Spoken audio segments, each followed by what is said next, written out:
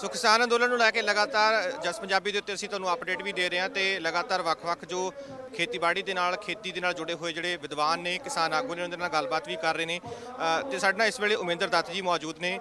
ਖੇਤੀ ਵਿਰਾਸਤ ਮਿਸ਼ਨ ਦੇ ਨਾਲ ਉਹ ਜੁੜੇ ਹੋਏ ਨੇ। ਕਿਸਾਨ ਅੰਦੋਲਨ ਨੂੰ ਵੀ ਪੂਰੀ ਤਰ੍ਹਾਂ ਦੇ ਨਾਲ ਹਮਾਇਤ ਦੇ ਰਹੇ ਨੇ ਇੱਥੇ ਸਾਡੇ ਨਾਲ ਮੌਜੂਦ ਨੇ। ਸਰ ਸਭ ਤੋਂ ਪਹਿਲਾਂ ਇਸ ਅੰਦੋਲਨ ਨੂੰ ਲੈ ਕੇ ਹਾਲ ਫਿਲਹਾਲ ਦੀ ਸਥਿਤੀ ਤੁਸੀਂ ਕੀ ਦੇਖ ਰਹੇ ਹੋ? ਕੀ ਇੱਕ ਕਾਮਯਾਬ ਦਿਸ਼ਾ ਦੇ ਵਿੱਚ ਅੰਦੋਲਨ ਅੱਗੇ ਵਧ ਰਿਹਾ ਹੈ? ਮਤਲਬ ਇਹ ਹਿੰਦੁਸਤਾਨ ਦਾ ਆਜ਼ਾਦੀ ਦੀ ਲ- ਲੜਾਈ ਤੋਂ ਬਾਅਦ ਦਾ ਅਗਰ ਸਭ ਤੋਂ ਕਾਮਯਾਬ ਅੰਦੋਲਨ ਕਹੀਏ ਤੇ ਇਹ ਗਲਤ ਨਹੀਂ ਹੋਏਗਾ। ਐਮਰਜੈਂਸੀ ਦੇ ਦੌਰਾਨ ਵੀ ਅੰਦੋਲਨ ਹੋਇਆ ਸੀ, ਲੇਕਿਨ ਜਿਸ ਤਰੀਕੇ ਦਾ ਅੰਦੋਲਨ ਇਹ ਹੋਇਆ, ਲੋਕੀ ਜਿਹੜਾ ਸੜਕਾਂ ਤੇ ਆ ਗਏ ਨੇ, ਜਿਸ ਤਰ੍ਹਾਂ ਇੱਕ ਇੱਕ ਪਰਿਵਾਰ ਇੱਕ ਇੱਕ ਘਰ ਇੱਕ ਇੱਕ ਪਿੰਡ ਇਨਵੋਲਵ ਹੋ ਗਿਆ, ਉਹ ਬਹੁਤ ਵੱਡੀ ਗੱਲ ਹੈ ਔਰ ਮੈਂ ਇਸ ਅੰਦੋਲਨ 'ਚ ਬਹੁਤ ਕੁਝ ਪੋਜ਼ਿਟਿਵ ਦੇਖ ਰਿਹਾ। ਜਿਸ ਤਰ੍ਹਾਂ ਇੱਥੇ ਬੈਨਰ ਲੱਗਿਆ ਹੋਇਆ ਹੈ ਪੰਜਾਬ ਹਰਿਆਣਾ ਭਾਈ ਭਾਈ ਇਹ ਬਹੁਤ ਵੱਡੀ ਗੱਲ ਹੈ। ਮਤਲਬ ਮੈਨੂੰ ਪਤਾ ਨਹੀਂ ਸੋਸ਼ੀਓਲੋਜਿਸਟ ਜਾਂ ਪੋਲੀਟੀਕਲ ਜਿਹੜੇ ਐਨਾਲਿਸਿਸਟ ਉਹ ਇਹਨੂੰ ਕਿਵੇਂ ਐਨਾਲਾਈਜ਼ ਕਰਦੇ ਨੇ। ਪਰ ਮੈਂ ਕਹਿੰਦੇ ਹੋਏ ਗਦਗਦ ਹਾਂ। ਮਤਲਬ ਮੈਨੂੰ ਬਹੁਤ ਖੁਸ਼ੀ ਅੰਦਰੋਂ ਕਿ ਬਈ ਜਿਹੜਾ ਇੱਕ ਫਾੜ ਸੀ, ਜਿਹੜਾ ਇੱਕ ਦੂਰੀ ਸੀ, ਮਤਲਬ ਉਹ ਬਹੁਤ ਵਾਰੀ ਪੰਜਾਬ ਦੇ ਲੋਕੀ ਗੱਲ ਕਰਦੇ ਸੀ, ਹਰਿਆਣਵੀਆਂ ਨਾਲ ਅਲੱਗ ਤਰ੍ਹਾਂ ਦੀ ਡੀਲ ਕਰਦੇ ਸੀ, ਧੋਤੀ ਟੋਪੀ ਜਮਨਾ ਪਾਰ ਵਾਲੀ ਗੱਲ ਕਰਦੇ ਸੀ। ਇਧਰੋਂ, ਮਤਲਬ ਸ਼ਾਇਦ ਮੈਨੂੰ ਕਹਿਣਾ ਨਹੀਂ ਚਾਹੀਦਾ ਓਪਨਲੀ ਬੜੇ ਅਜੀਬ ਦੇ ਸ਼ਬਦ ਇਸਤੇਮਾਲ ਕਰਦੇ ਸੀ ਪੰਜਾਬ ਦੇ ਲੋਕਾਂ ਵਾਸਤੇ। ਉਹ ਦੂਰੀ ਹੋ ਗਈ। ਔਰ ਕੱਲ ਮੈਂ ਜਗ੍ਹਾ ਜਗ੍ਹਾ ਦੇਖਿਆ, ਉਹ ਹਰਿਆਣਾ ਵਾਲੇ ਲੋਕ ਉੱਥੇ ਹੁੱਕਾ ਵੀ ਰੱਖਿਆ ਹੋਇਆ, ਹੁੱਕਾ ਪੀ ਰਹੇ ਨੇ। ਤੇ ਪੰਜਾਬ ਦੇ ਲੋਕੀ ਵੀ ਉਹਨਾਂ ਨੂੰ ਟੋਲਰੇਟ ਕਰ ਰਹੇ, ਨਾਲ ਬੈਠੇ ਹੋਏ ਨੇ। ਅੱਗੇ ਕਿ ਦੂਜੇ ਨੂੰ ਟੋਲਰੇਟ ਨਹੀਂ ਕਰਦੇ ਸੀ। ਪੰਜਾਬ ਦੇ ਬੰਦੇ ਕਮੈਂਟ ਮਾਰਦੇ ਸੀ ਉੱਥੇ, ਉਹ ਨਹੀਂ ਹੋ ਰਿਹਾ। ਇਹ ਜਿਹੜਾ ਇੱਕ ਡਿਵੈਲਪਮੈਂਟ ਹੈਗੀ ਹੈ, ਮਤਲਬ ਇਹ ਤਾਂ ਮੈਂ ਇੱਕ ਨਿੱਕੀ ਜਿਹੀ ਗੱਲ ਕਹੀ ਹੈ, ਇਸ ਤੋਂ ਇਲਾਵਾ ਹੋਰ ਬੜਾ ਕੁਝ ਹੈਗਾ ਹੈ। ਜਿਹੜੀ ਦੂਰੀਆਂ ਮਿਟ ਰਹੀਆਂ ਨੇ, ਇਹ ਬਹੁਤ ਪੋਜ਼ਿਟਿਵ ਚੀਜ਼ ਹੈ।